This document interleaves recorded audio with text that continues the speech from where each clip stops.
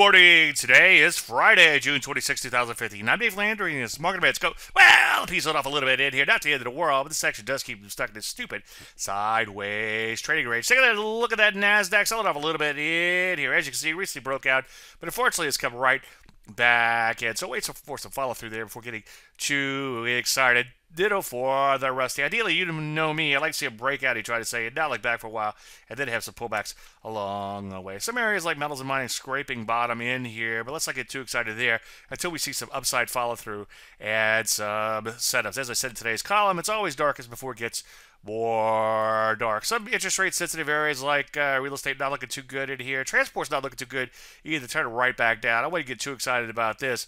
However, it does score, obviously, as a negative. Most areas like semis and retail remain stuck in a sideways range, sort of like the overall market itself. So for the most part, you want to wait for some follow through before getting too excited.